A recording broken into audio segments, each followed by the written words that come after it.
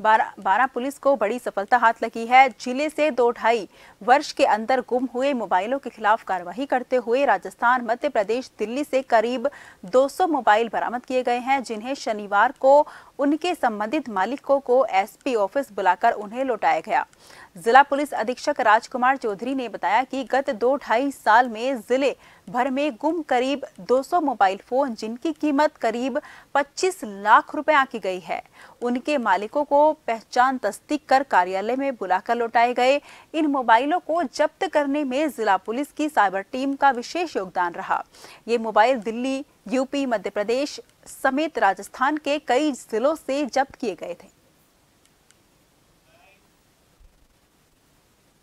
जो गुमशुदा मोबाइल्स हैं, उनको बरामद करने की एक कार्रवाई थी, जो हमारी टीम है साइबर टीम और उसमें लगे हुए लोगों ने कुछ अधिकारियों ने भी इसमें महत्वपूर्ण सूचना दी और उससे अपन ने इनको वापस बरामद किया। लगभग 200 मोबाइल्स इसमें हैं। मोटे तौर पे जो उनकी कीमत आंकी गई है, करीब 25 लाख रुपए इसकी कीमत रही और साइबर टीम ने अनवरत मेहनत करते हुए ये दिल्ली से, यूपी से, मध्य प्रदेश से और राजस्थान के कई जिलों से ये वापस हमें प्राप्त हो